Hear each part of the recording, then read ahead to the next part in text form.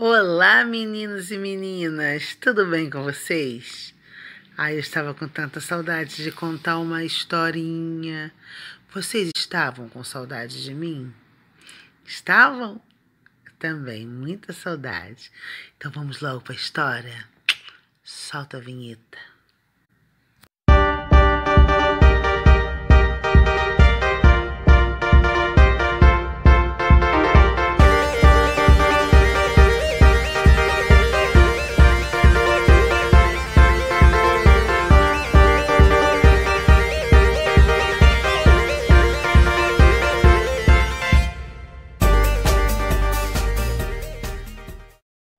Historinha que ouviremos hoje é chamada de Árvore das Lembranças, de Brita Teckentje. Vamos lá? Era uma vez uma raposa que vivia com os outros animais lá na floresta. Ela viveu uma vida longa e feliz, mas estava ficando cansada.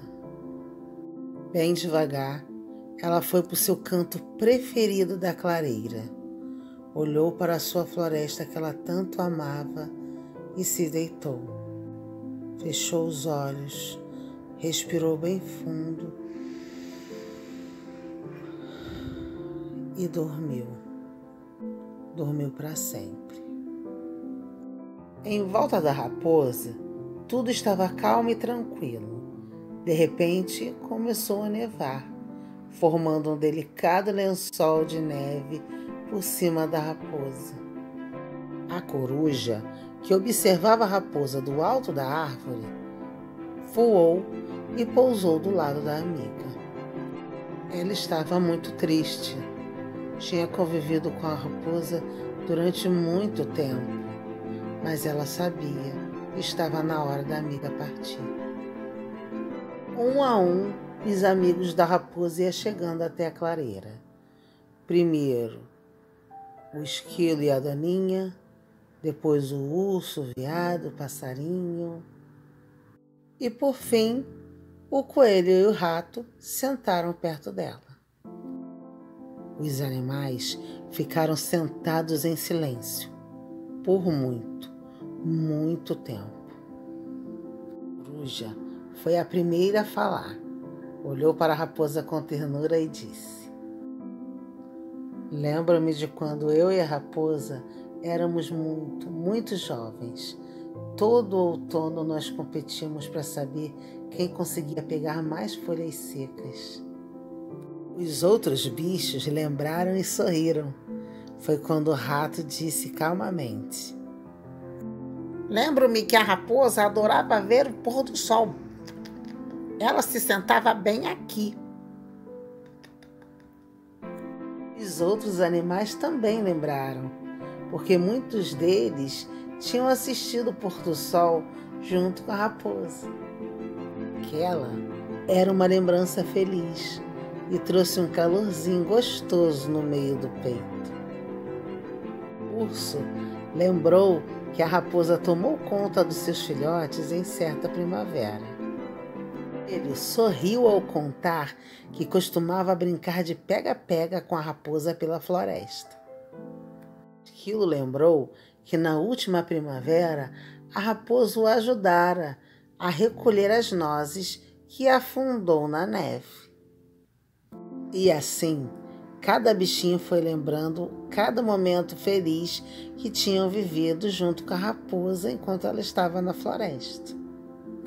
Durante a noite inteira, os animais continuaram a contar histórias de momentos felizes que viveram com a raposa. A raposa, ela era muito amada por todos na floresta. Ela tinha sido muito gentil e atenciosa, e ninguém imaginava como seria a vida na floresta sem ela. Enquanto eles falavam, uma plantinha laranja começava a nascer bem no lugar onde a raposa havia se deitado. Era uma plantinha pequena e delicada, mas a cada história da raposa que era contada, ela crescia e ficava cada vez mais bonita e mais forte. Quanto mais se lembravam dela, mais árvore crescia e mais árvore ficava bonita. Ao amanhecer, aquela plantinha havia se tornado numa pequena árvore e os bichos perceberam que aquela árvore fazia parte deles.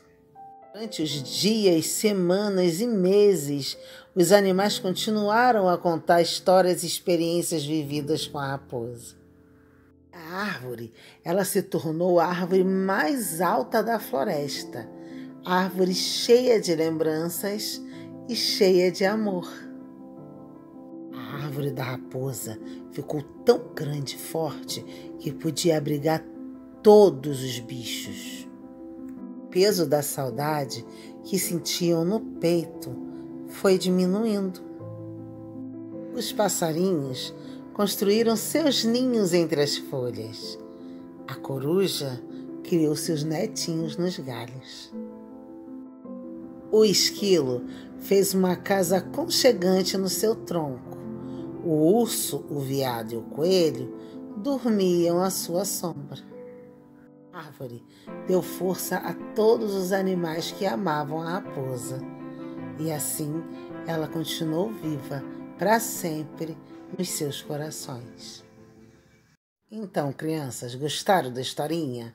Se gostaram, não se esqueça se inscreva em nosso canal, ative o sininho para que você fique por dentro de todas as histórias que são contadas aqui e não esquece de deixar um recadinho para mim também, tá?